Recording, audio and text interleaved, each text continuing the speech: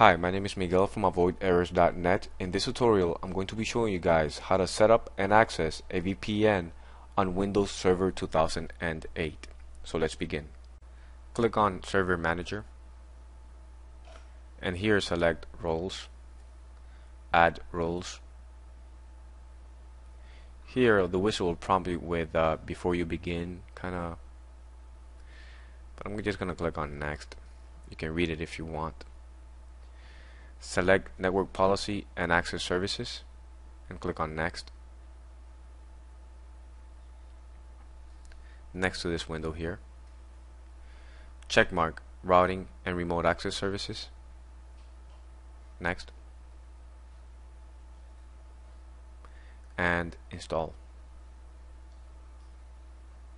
Really simple. Installation succeeded perfect. Now go ahead and click on close. I'll close this too. Start. Administrative tools. Routing and remote access. Now by default is disabled the down arrow. As you can see means it's disabled. So right click and select configure and enable routing and remote access. For this tutorial I'll be using default configuration. Click next to the wizard. Select custom configuration. Next. VPN access. Next. Finish the wizard. Perfect. Start services and now once it's done you can click on finish. And if you wait a while it'll remove the window by itself. Now our uh, routing a remote access is up and running.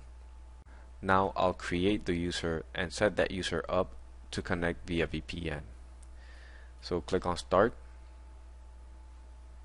Administrative tools. Active directory users and computers. In your case you probably have the user already set you just need to enable him to connect. So I'll just create a new user here so bear with me. New user. And I'll name this user myself Miguel Guzman. Perfect. Next. Uh, I'm gonna change the password. I'll set up the password now. Never expires. Next finish. Okay so we have the user here who's going to connect. So right click properties dial in tab and select under network access permissions allow access. Apply. Okay. Perfect. Now I will connect from a Windows 7 machine. So click on start control panel network and sharing center.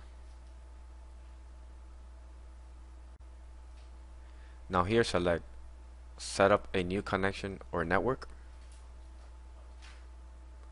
Connect to our workplace set up a dial-up or VPN next. Use my internet connection VPN now here I'll be using my server LAN IP address.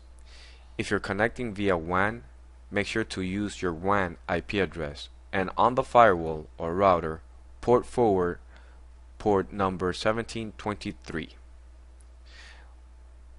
Go ahead and click on next once you're done. And now enter your username at domain name and the password belonging to that user. Remember this password is optional and click on connect. Keep in mind, if you're connecting via WAN, you need to use your WAN IP address and port forward port number 1723 and or port 47 GRE.